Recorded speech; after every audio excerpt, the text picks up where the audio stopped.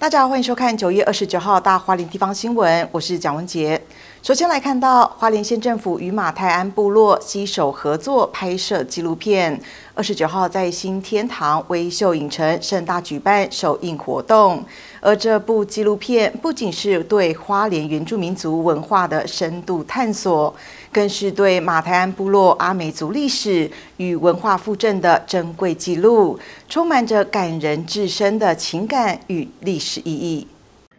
花莲县政府米格勒影像制作社与马台安部落携手拍摄《当雨下再次降》马达案纪录片，十九号在新天堂微秀影城隆重首映。纪录片不仅展现华人原住民族文化的深厚底蕴，更透过影像记录，唤醒观众对部落历史以及文化的深刻反思。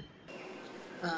马太安部落和泰巴朗部落，因为这是全国最大的两个部落，尤其是保存保留的最好，所以我们就从这两个部落开始做。我们很高兴的马太阳部落把它做好，在今天能够纪录片的发表。泰巴朗部落的主题是苏拉拉蛋，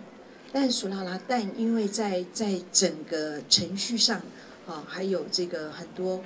工作上面，我们还有很多的行政程序必须要走，所以它其实也在进行当中。可是这些的行政程序其实也会，相信也会在不在他的纪录片里面成为很重要、很重要，给未来。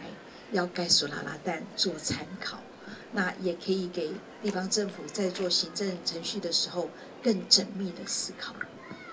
首映会现场除了来自花莲与马台安部落代表之外，还有来自各界的贵宾以及学者参加，包括现营也丢失依赖李正文、红叶谷绿能温泉区营运长孙翠如、格马兰文化艺术基金会董事长潘朝成等多位各界人士一同来参与。共同见证这一场跨越时空的文化交流。记得九月华摄报道。